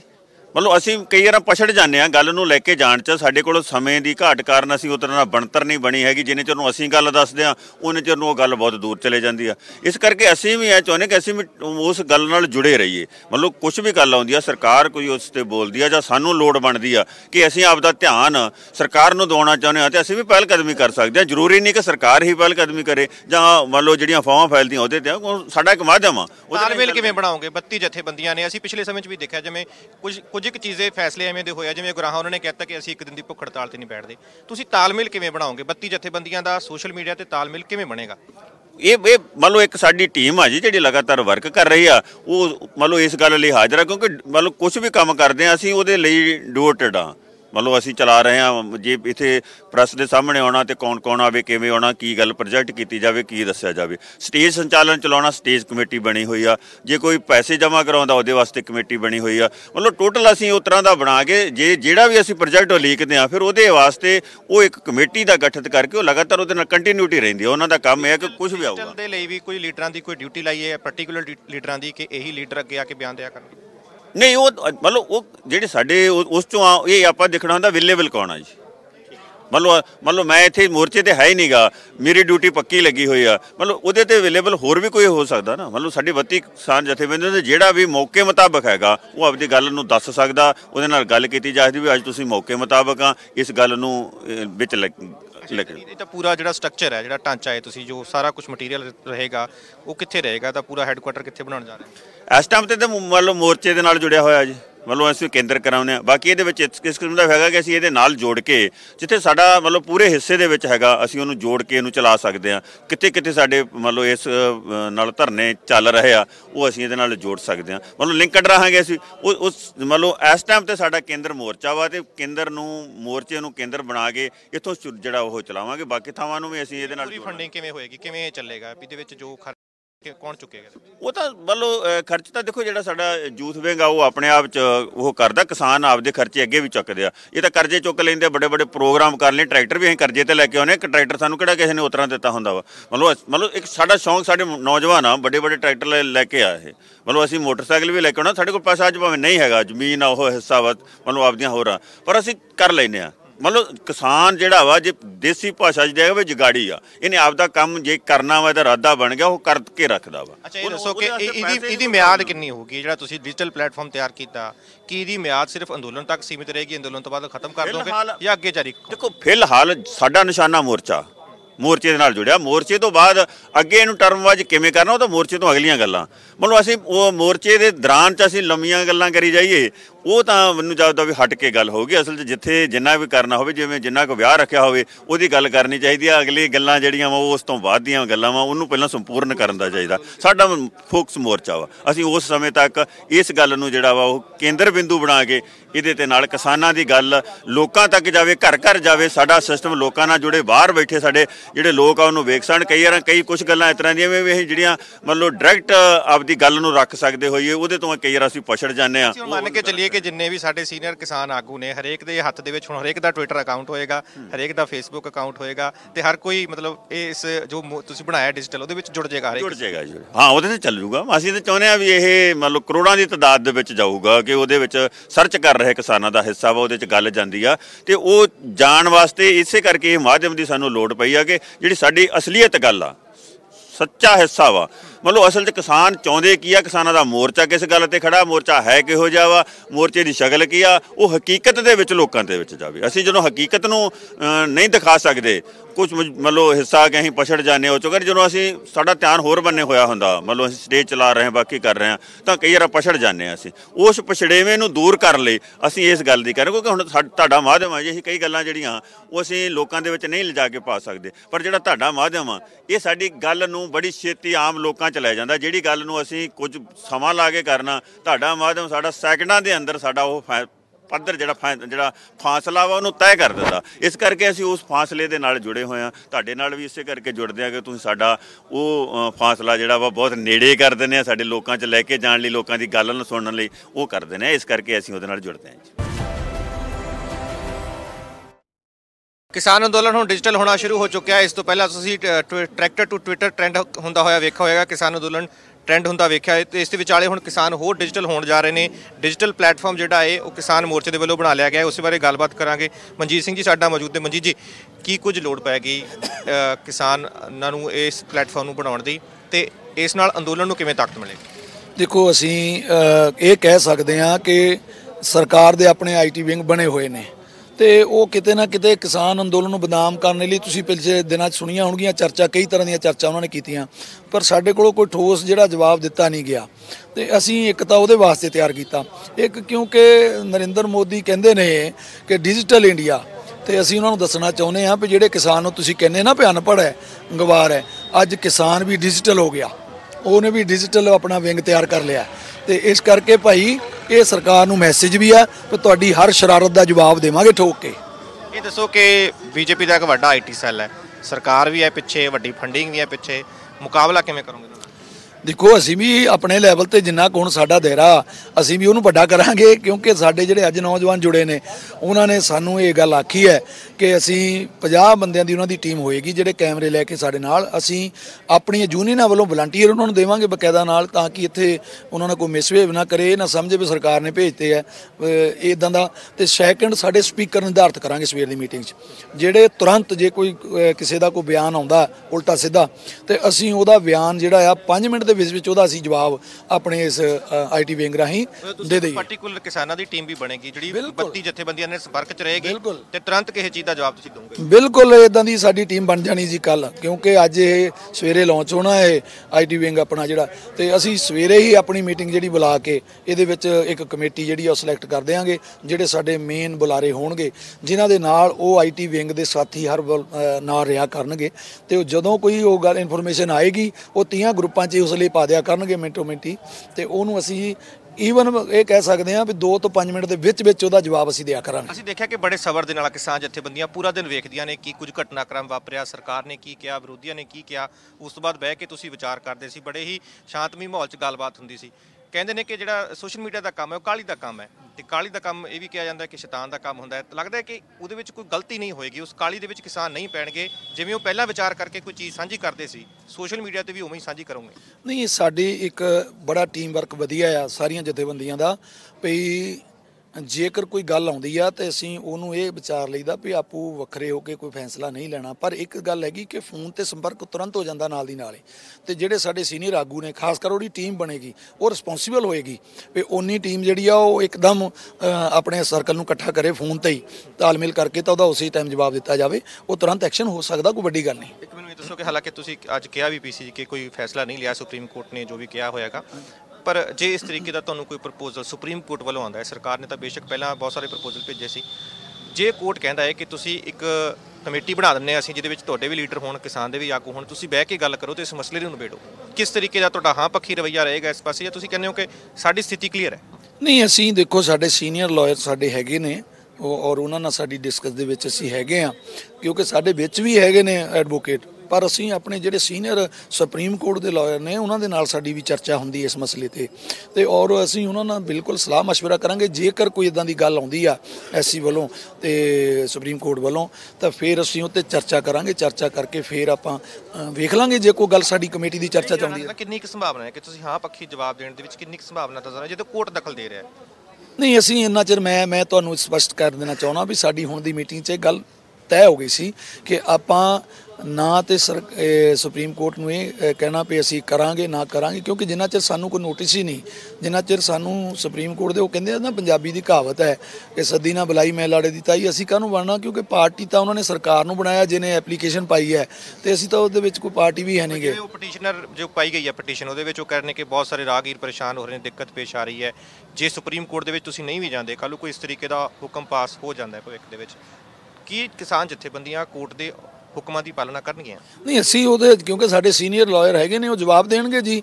ਔਰ ਜਵਾਬ ਦੇ ਵਿੱਚ ਅਸੀਂ ਉਹਨਾਂ ਨੂੰ ਦੱਸਾਂਗੇ ਵੀ ਅਸੀਂ ਤਾਂ ਬੈਠੇ ਹੀ ਨਹੀਂ ਇੱਥੇ, ਸਾਨੂੰ ਤਾਂ ਸਰਕਾਰ ਨੇ ਬਿਠਾਇਆ।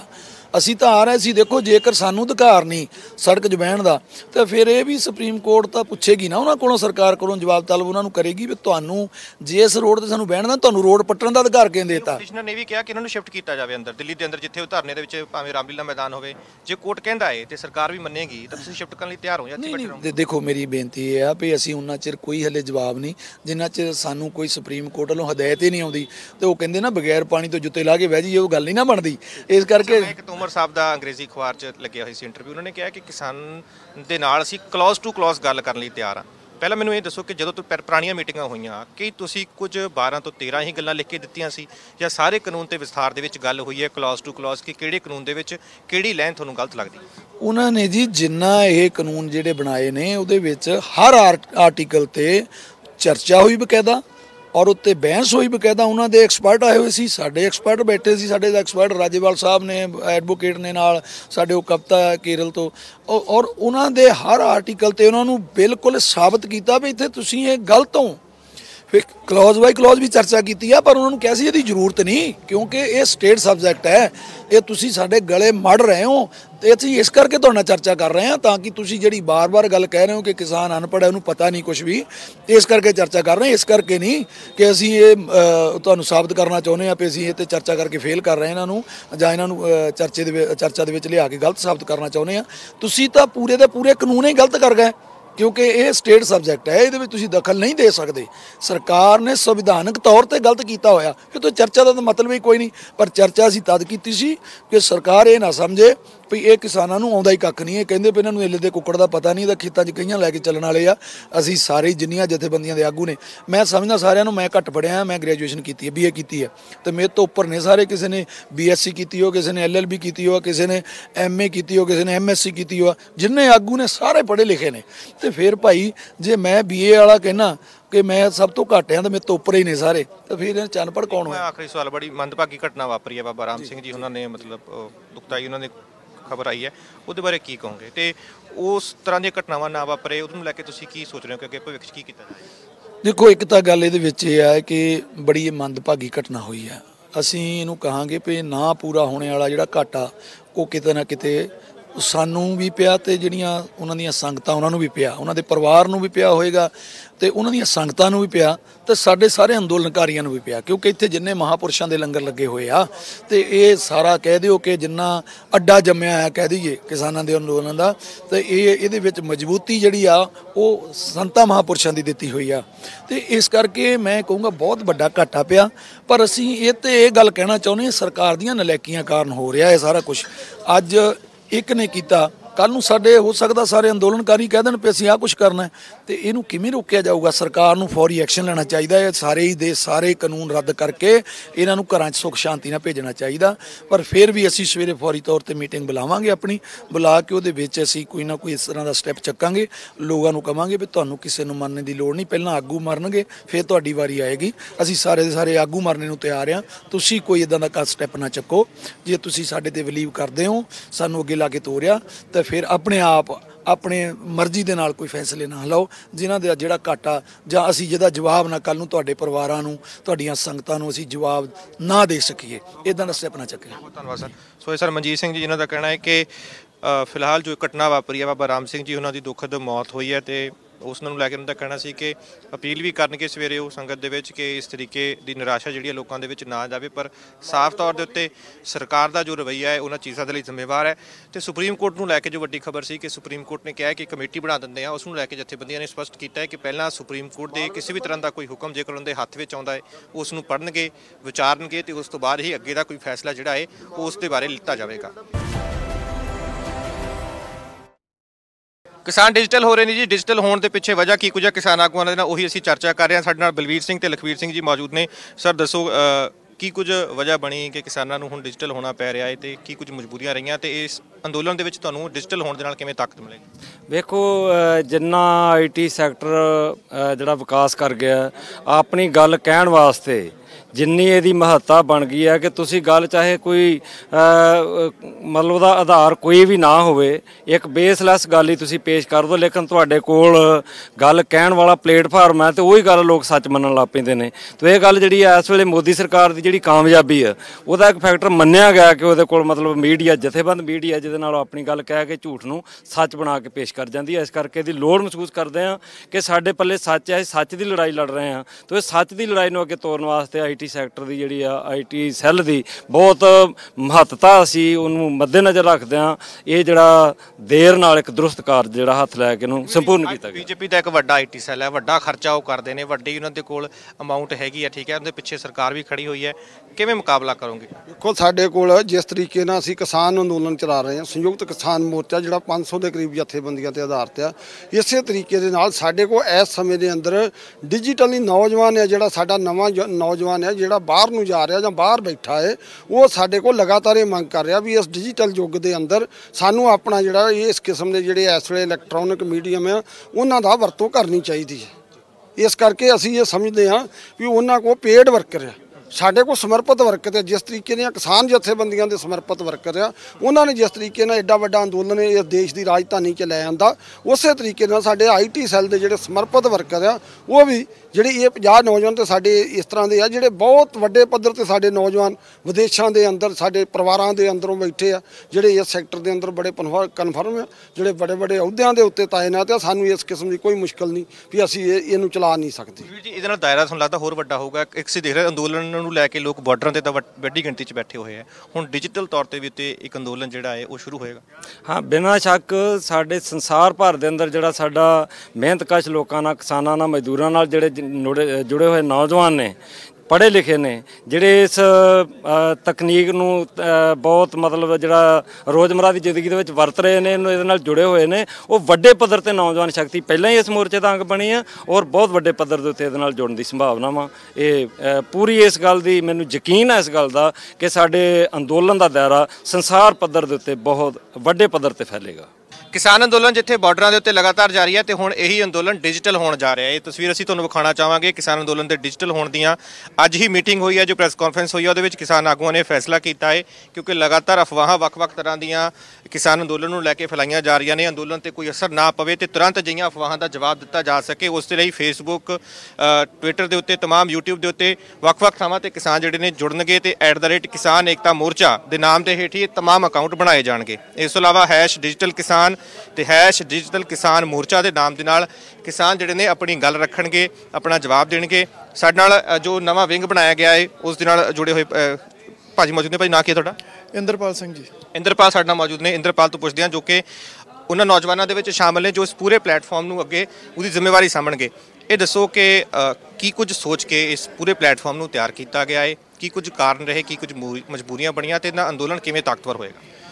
ਜੀ, ਇਹੋ ਕੁਝ ਸੋਚਿਆ ਗਿਆ ਹੈ ਕਿ ਜੋ ਵੀ ਸਰਕਾਰ ਵੱਲੋਂ ਹੁਣ ਤੱਕ ਸਾਡੇ ਇਸ ਮੋਰਚੇ ਤੋਂ ਮੈਸੇਜ ਜਾਂਦੇ ਆ, ਉਹ ਕਿਸੇ ਨਾ ਕਿਸੇ ਤਰੀਕੇ ਨਾਲ ਗਲਤ ਨੂੰ ਉਸ ਨੂੰ ਤੋੜ ਮੋੜ ਕੇ ਪੇਸ਼ ਕੀਤਾ ਜਾਂਦਾ ਲੋਕਾਂ ਦੇ ਵਿੱਚ ਔਰ ਨੈਗੇਟਿਵਿਟੀ ਫੈਲਾਈ ਜਾਂਦੀ ਆ।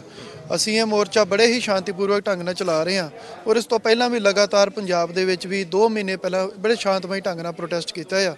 ਔਰ ਅਸੀਂ ਇਹ ਮਹਿਸੂਸ ਕਰਦੇ ਸੀਗੇ ਇੱਥੇ ਕਿ ਜਿੱਦਾਂ ਹਰੇਕ ਪੋਲੀਟੀਕਲ ਪਾਰਟੀ ਦਾ ਆਈਟੀ ਸੈੱਲ ਹੁੰਦਾ ਆ ਇਦਾਂ ਦਾ ਹੀ ਇੱਕ ਆਪਣਾ ਪਲੇਟਫਾਰਮ ਹੋਵੇ ਜਿੱਥੋਂ ਇੱਕ ਮੈਸੇਜ ਜਾਵੇ ਔਰ ਪੂਰੇ ਵਰਲਡ ਦੇ ਵਿੱਚ ਇਹ ਗੱਲ ਜਾਵੇ ਕਿ ਠੀਕ ਆ, ਇਹ, ਇਸ ਪਲੇਟਫਾਰਮ ਤੋਂ ਗੱਲ ਆਈ ਆ ਤੇ ਇਹ ਬਿਲਕੁਲ ਸਹੀ ਹੈਗੀ ਆ ਔਰ ਇਹ ਜ਼ਰੂਰਤ ਪੈਗੀ ਸਾਨੂੰ ਅੱਜ ਇਸ ਦਾ ਨੂੰ ਬਣਾਉਣ ਵਾਸਤੇ ਕਿਉਂਕਿ ਹਰੇਕ ਸਰਕਾਰ, ਖਾਸ ਕਰਕੇ ਬੀਜੇਪੀ ਜਿਹੜੀ ਮੋਦੀ ਗਵਰਨਮੈਂਟ ਹੈਗੀ ਆ, ਉਹ ਇਸ ਅੰਦੋਲਨ ਨੂੰ ਫੇਲ ਕਰਨ ਵਾਸਤੇ ਕੋਈ ਨਾ ਕੋਈ ਸ਼ਤਰੰਚਰ ਇਦਾਂ ਦਾ ਛੱਡਦੀ ਆ, ਕੋਈ ਨਾ ਕੋਈ ਗੱਲ ਇਦਾਂ ਦੀ ਛੱਡ ਦਿੰਦੀ ਆ ਕਿ ਸਾਡੇ ਜਿਹੜੇ ਲੋਕ ਜਿਹੜੇ ਘਰਾਂ ਵਿੱਚ ਹੈਗੇ ਨੇ, ਜਿਹੜੇ ਸੋਸ਼ਲ ਮੀਡੀਆ ਨਾਲ ਜੁੜੇ ਹੋਏ ਆ ਉਹ 네ਗੇਟਿਵ ਹੋਣਾ ਸ਼ੁਰੂ ਹੋ ਜਾਂਦੇ ਆ।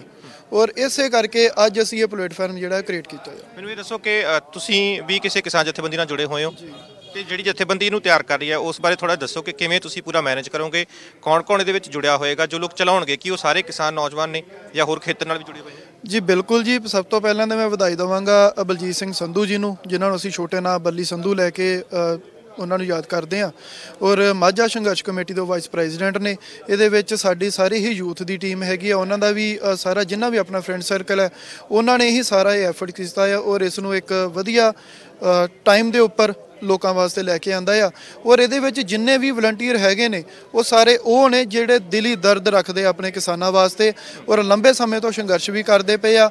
ਔਰ ਖਾਸ ਕਰਕੇ ਇਹ ਯੂਥ ਇਹਦੇ ਵਿੱਚ ਜੁੜ ਰਿਹਾ ਜ਼ਿਆਦਾ ਔਰ ਸਾਰੇ ਵਲੰਟੀਅਰ ਵੀ ਯੂਥ ਦੇ ਨੇ ਕਿਉਂਕਿ ਯੂਥ ਵਧੀਆ ਇੱਕ ਮੋਬਾਈਲ ਨੂੰ ਆਪਰੇਟ ਵੀ ਕਰ ਲੈਂਦਾ ਆ। ਔਰ ਹਰ ਨਵੇਂ, ਹਰ ਸਮੇਂ ਅਸੀਂ ਜੋ ਡਾਟਾ ਯੂਜ਼ ਕਰਦੇ ਆ, ਉਹ ਇੱਧਰ ਉੱਧਰ ਦੀਆਂ ਗੱਲਾਂ ਦੇਖ ਕੇ ਯੂਜ਼ ਕਰਦੇ ਆ।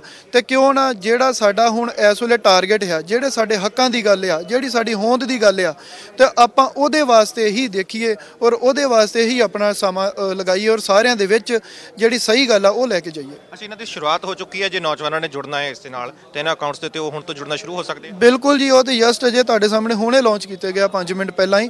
ਔਰ ਇਸ ਤੋਂ ਬਾਅਦ ਜਦੋਂ ਵੀ ਹੁਣ ਤੁਸੀਂ ਆਪਣਾ ਫੇਸਬੁੱਕ ਦੇ ਉੱਪਰ ਸਰਚ ਕਰੋ ਕਿਸਾਨ ਏਕਤਾ ਮੋਰਚਾ ਉੱਤੇ ਤੁਹਾਨੂੰ ਪੇਜ ਬਣਿਆ ਹੋਊਗਾ ਇੰਸਟਾਗ੍ਰam ਦਾ ਪੇਜ ਬਣਿਆ ਹੋਊਗਾ। ਬਾਕੀ ਜਿੱਥੇ ਵੀ ਕਿਤੇ ਵੀ ਹੁਣ ਤੁਸੀਂ ਇਹ ਸਰਚ ਕਰੋਗੇ ਕਿਸਾਨ ਏਕਤਾ ਮੋਰਚਾ ਤੁਹਾਨੂੰ ਅੱਗੇ ਲੱਭੇਗਾ। ਤੁਸੀਂ ਕਿਸ ਕਿਸ ਤਰ੍ਹਾਂ ਦੀ ਜਾਣਕਾਰੀ ਸਾਂਝੀ ਕਰੋਗੇ? ਕੀ ਸਿਰਫ ਕਾਊਂਟਰ ਕੀਤਾ ਜਾਏਗਾ ਜੋ ਫੇਕ ਖਬਰਾਂ ਹੋਣਗੀਆਂ ਜਾਂ ਹੋਰ ਜੋ ਵੀ ਅਪਡੇਟ ਹੋਏਗਾ, ਕਿਸਾਨ ਅੰਦੋਲਨ ਦੇ ਨਾਲ ਜੁੜਿਆ ਹੋਇਆ, ਉਹ ਲਗਾਤਾਰ ਦਿੱਤਾ ਜਾਏਗਾ? ਨਹੀਂ ਜੀ, ਇਸ ਦੇ ਉੱਪਰ ਕੋਈ ਵੀ ਅੱਗੇ ਦਾ ਸਾਡਾ ਪਲਾਨ ਹੋਏਗਾ।